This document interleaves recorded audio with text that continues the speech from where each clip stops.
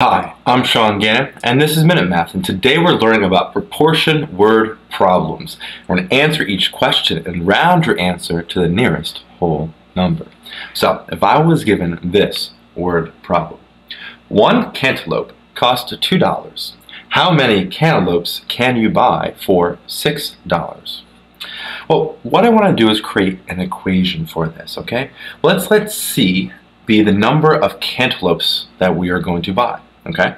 We're looking for. That's what we're going to find. Now we know it's $2 per cantaloupe, so we set up $2 times C, and that represents the cost of a variable amount of cantaloupes, okay? Now, we need we to set that equal to an end cost of $6, okay? So we set the end cost of $6 there, and now we have an equation.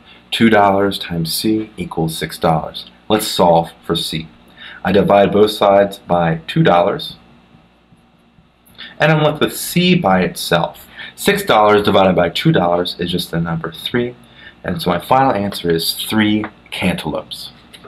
Quick recap, we're given one cantaloupe